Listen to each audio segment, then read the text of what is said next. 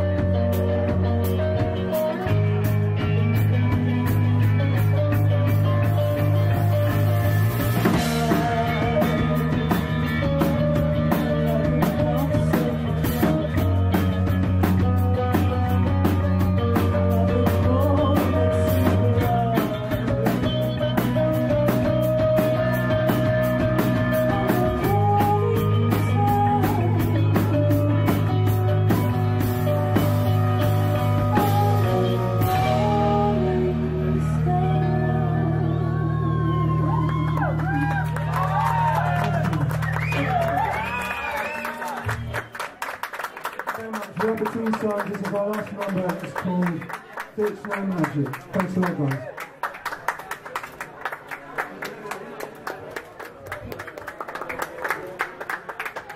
Dedicated to Smiler's Night.